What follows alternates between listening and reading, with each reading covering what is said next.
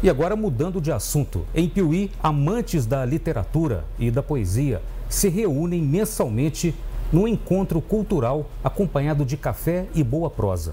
O repórter João Vitor Emanuel foi até a Biblioteca Pública conferir de perto uma reunião do grupo e nos traz os detalhes. Em um cantinho especial da Biblioteca Pública Maria Serafina, este grupo de amantes da escrita se reúne todas as semanas para transformar tardes comuns em encontros especiais.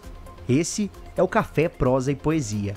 Café nós temos poesia, prosa, música, teatro, são os professores aposentados que gostam de poesia, são escritores daqui de Piuí, que está sempre fazendo as poesias e vindo aqui apresentar para nós. O grupo foi criado em agosto de 2018 pelas amigas Valquíria Rodrigues e Cidinha Guerra. Valquíria nos deixou, mas seu legado segue até hoje. A cada encontro, os participantes trazem um poema para recitar ou um texto para compartilhar. Não importa se são versos conhecidos ou produções próprias. O importante é a emoção que eles carregam. Aqui, isso aqui é um encontro maravilhoso. Você precisa de ver todo mundo amigo.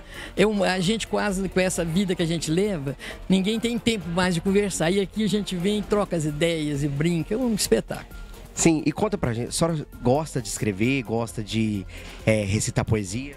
Bem, a minha família, é, eles todos escrevem muito, todo mundo escreve, escreve, escreve. E eu quis fazer uns resumos assim de um, para guardar as memórias da família. Então tem de criança, tem a, o último agora que chama Costurando Memórias. Eu comecei em, em 1800 e tanto com meu bisavô, tataravô, até chegar na data atual. Mas tem um que é, é ciranda de emoções das crianças, só das netinhas e outras crianças. Tem de cartas, da, cartas dos familiares, sabe, da família da minha mãe. Então tem, são sete ao todo. Assim, o Café Prosa e Poesia continua semana após semana. Para aquelas pessoas que tiverem interesse de participar, de frequentar aqui, conta pra gente onde vocês se reúnem e como que faz. Vocês ainda aceitam pessoas? Tem alguma taxa?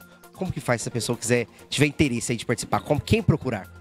Não, não tem taxa nenhuma. A gente só pede para trazer um café, um bolo, um biscoito. Aí a gente faz uma mesa bem bonita e no final a gente toma o café. É toda terça-feira de cada mês final do, do mês, toda terça. A gente pode vir trazer criança, criança pode recitar poesia, pode trazer as vovós, pode trazer os netos, e é bem bacana.